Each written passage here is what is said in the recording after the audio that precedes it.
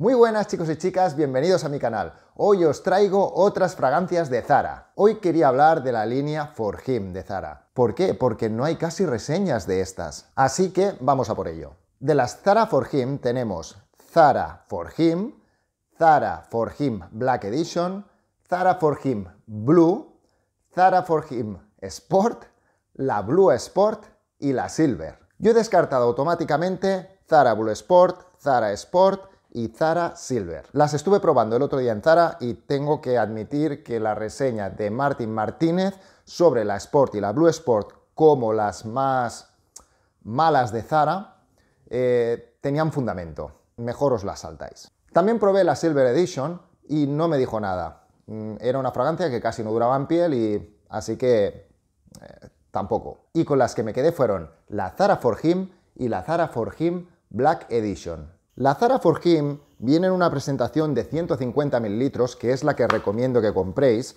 y viene en una presentación un poco cutre, con un plasticucho así, y...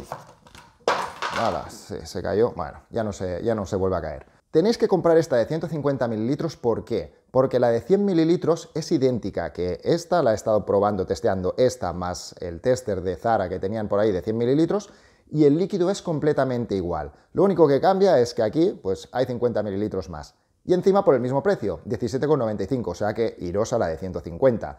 Luego está la trampa, bueno, la trampa, está el pack que tenéis, la Zara For Him de 100 mililitros con la Zara, mm, creo que es la Zara Sport. 22,95, 23 euros no caigáis en la tentación de comprarla porque venga con otra fragancia. No os vale para nada y vais a seguir teniendo los 100 mililitros. Coged esta, os ahorráis algo de dinero y mucho mejor. Y tenéis 50 mililitros más de esta. Con las notas que presenta también Zara, es un cacao maravillado. ¿Por qué? Porque aquí tenemos, por ejemplo, que en la cajita nos pone que tiene bergamota, cardamomo y sándalo. En cambio, en la página web nos sale que esta tiene lavanda, cedro y vainilla. Y si os vais al pack donde está la de 100 mililitros con la Sport, a esta le ponen las notas de la, de la Black Edition. O sea, tienen un cacao que no se aclaran ni ellos, pero bueno. Mm, vamos a aplicarla en piel. Dos.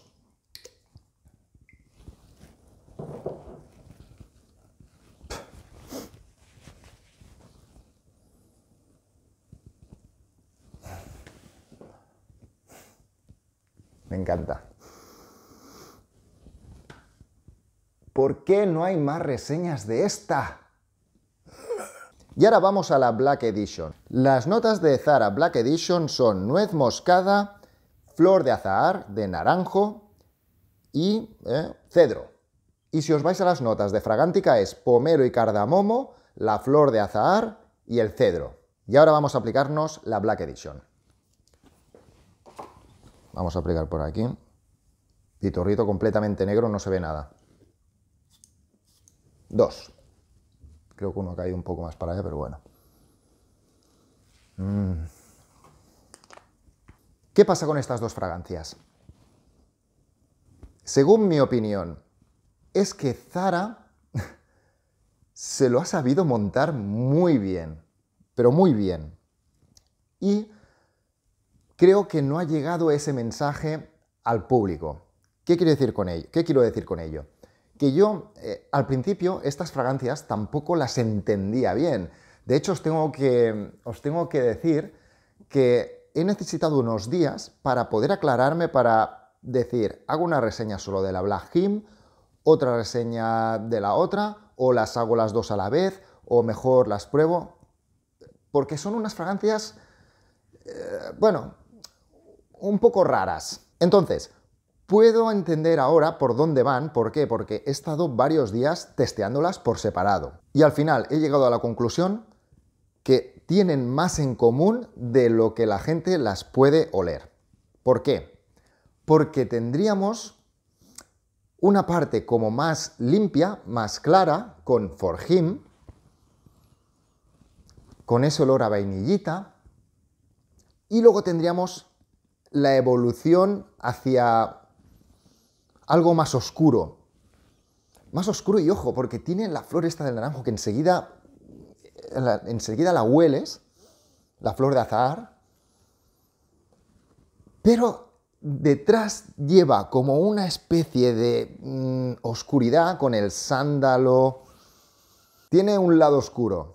Sería como la fragancia del Darth Vader. Bueno, lo dejamos así, que se vayan asentando y luego volvemos para ver cómo, cómo van evolucionando. ¿Vale? Venga, hasta ahora.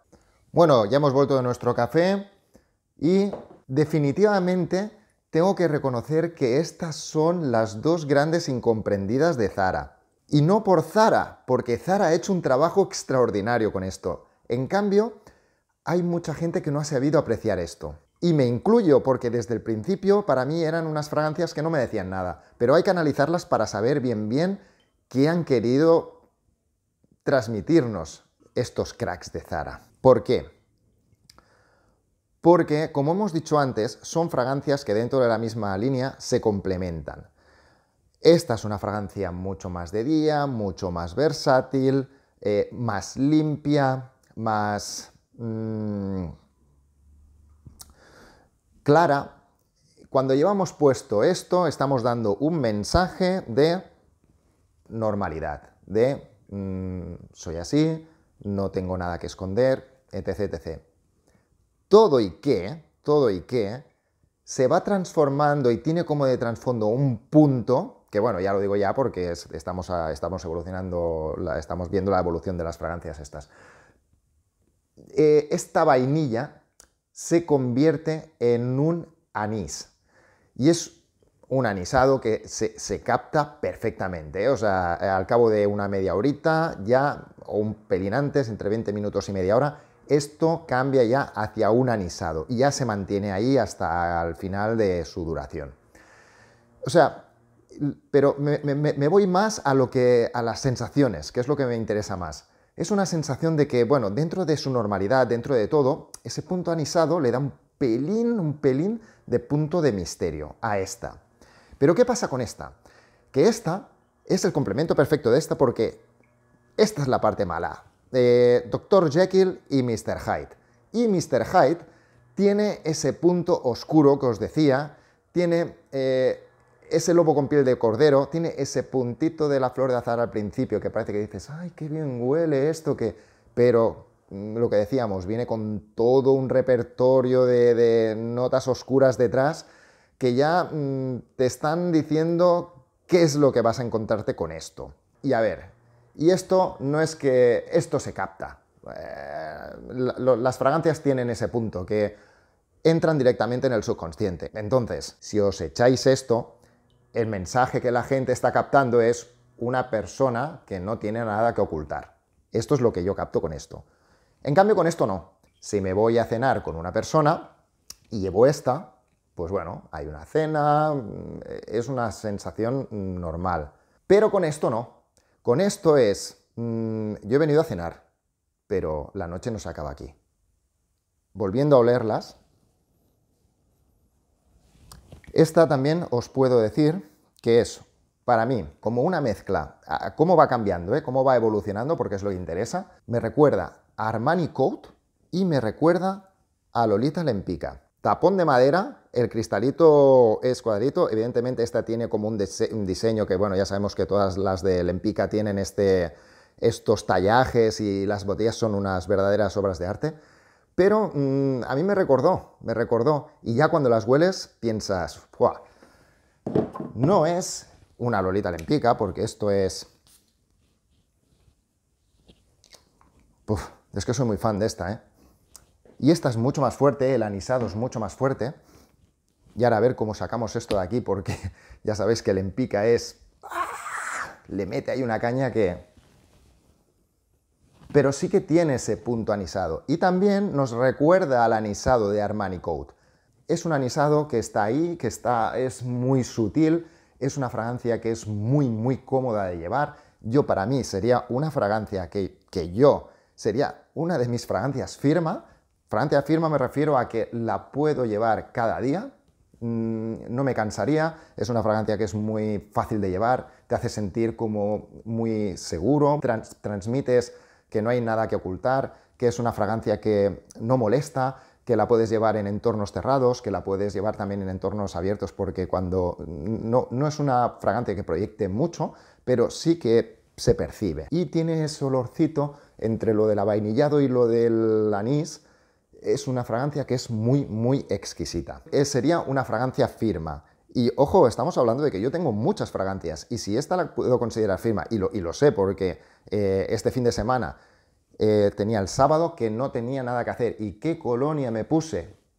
Esta. Esta. Me puse esta para disfrutarla, porque te echas, te empapas de esto y es como me encanta, es como una seguridad que te da esta fragancia de estar bien, es una fragancia que te hace estar feliz, ¿sí? te transmite eso, es una fragancia que te, hace estar feliz, de mm, transmito esto y bien, felicidad y todo esto. Por eso que cuidado, es que esta fragancia está muy bien, no sé por qué no tiene más reseñas, no lo entiendo, de verdad que no lo entiendo. Y esta sería una fragancia perfecta para jugar a este juego. Eh, por eso tampoco entiendo que no haya tantas referencias de estas. No, las, no lo entiendo. O sea, son fragancias que están muy pensadas para algo muy determinado. A mí me encanta, me encanta. Es una fragancia que al principio me costó, pero después le fui encontrando este punto oscuro y pensé, hostia, pero esto qué, qué lleva aquí? Es como... Y transmite eso, transmite eso. Es una fragancia para jugar saltándote las reglas. Y con todo lo que os he explicado, ahora ya solo falta saber la durabilidad. Os lo podría decir, pero prefiero que al cabo de unas horas, eh, ya que hacemos los vídeos, es que probemos bien la durabilidad y que os diga, pues mira, esta sí que está aguantando más, esta no está aguantando más, si han cambiado o han evolucionado hacia otro punto que, bueno, ya veremos a ver lo que pasa. Vayamos a la última, a la última parte del vídeo y así con las conclusiones finales, ¿vale? Pues venga, nos vemos en unas horas.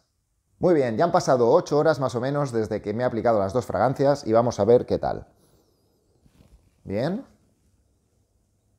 Y bien también. A ver, no son fragancias que proyecten una barbaridad, pero bueno, están ahí, son correctas. Y en cuanto a la duración, pues lo mismo. Son fragancias que te aguantan bien, bien, pues eso, entre 6, 8 horas, bien, eh, podéis seguro que esto aguanta hasta 10 horas en piel tranquilamente, pero ya están mucho más a ras de piel. Entonces, em, se me ha olvidado antes comentaros, he comparado esta con Armani Coat y con la Lolita Lempica, y esta no me he acordado de deciros a qué me recuerda. Todo este rato he estado testeándola y había momentos que me ha recordado a algo sucio. Sucio me, refiero, ahora cuando os lo enseñe entenderéis el porqué. Halloween Man X. Sabéis más o menos de qué estoy hablando. Y Ted Lapidus Black Soul Imperial.